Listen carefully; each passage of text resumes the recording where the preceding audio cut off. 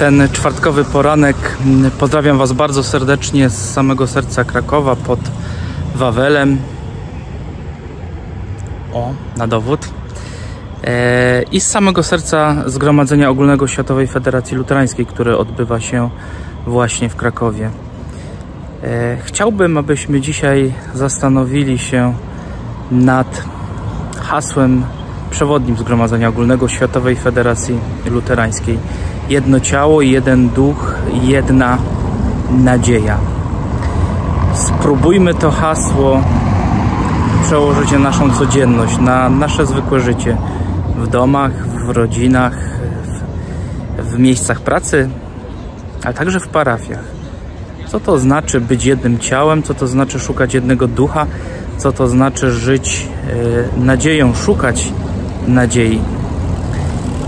Patrzymy w tym tygodniu i wierzę, że będzie tak do końca tego zgromadzenia na Kościół bardzo różnorodny. E, kościół mm, wspaniały, Kościół żywy, Kościół dynamiczny, Kościół skoncentrowany na e, Słowie Bożym, na Jezusie Chrystusie i na służbie drugiemu człowiekowi. Kościół, który w różnych zakątkach świata stara się zrozumieć yy, i urzeczywistnić hasło jedno ciało, jeden duch, jedna nadzieja. Życzę, kochani, nam wszystkim, abyśmy potrafili patrzeć na to nasze najbliższe otoczenie.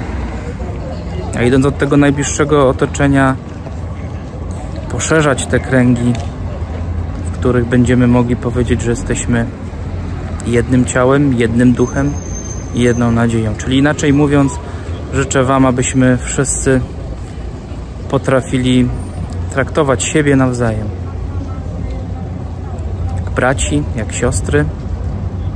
Jak to pięknie było powiedziane kilkukrotnie podczas wczorajszego nabożeństwa otwierającego zgromadzenie ogólne abyśmy siebie nawzajem traktowali jako jedną rodzinę w Chrystusie. A zatem, kochana rodzino, pozdrawiamy serdecznie i zapraszamy do Krakowa w trakcie Zgromadzenia Ogólnego Światowej Federacji Luterańskiej. Przyjdźcie tutaj pod Wawel i zobaczcie wystawę, e, poprzez którą pokazujemy światu, że chcemy być jednym ciałem, e, jednym duchem, jedną nadzieją, ale przede wszystkim pokazujemy, że jesteśmy tutaj w tym miejscu powołani do służby na rzecz drugiego człowieka. Trzymajcie się, dobrego dnia.